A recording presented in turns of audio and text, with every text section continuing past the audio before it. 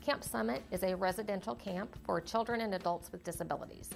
A very typical traditional camp environment where we simply adapt everything we do to the individual needs of each camper. The program that was nominated is our residential camping program, and that consists of weekends and week long camp sessions throughout the year.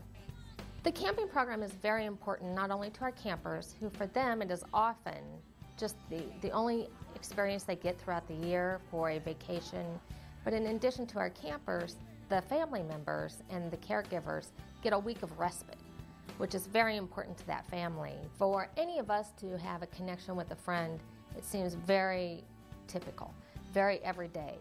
Um, but for our campers, it's a bit more of a struggle. So when they, when you see that connection that they've made, it is so amazing to watch the look on their face. They light up. They get excited to see each other. That is something we all take so for granted with our children. Of a typical child, it's, it's something that is just a rite of passage.